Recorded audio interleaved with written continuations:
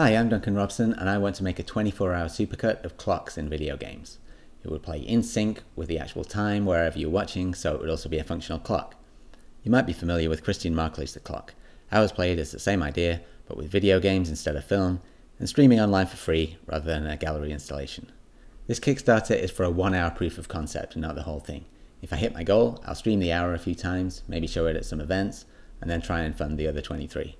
I already have a huge variety of timepieces from over 900 games. There's alarm clocks, tower clocks, cuckoo clocks, talking clocks, walking clocks, fighting clocks, exploding clocks, future clocks, grandfather clocks, grand central clocks, luxury watches, digital watches, pocket watches, sundials, and sometimes people will just tell you the time. It's midnight, sir. So that's a lot of clocks, but you'll also see and hear many other things that will encompass decades of video game history across all genres and platforms. I'll post some more about my plans and my background below.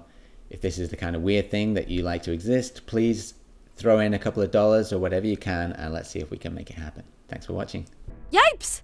The only way to stop chaos is to hunt down all 12 pieces of the cosmic clock and put it back together again. I was afraid you'd say that.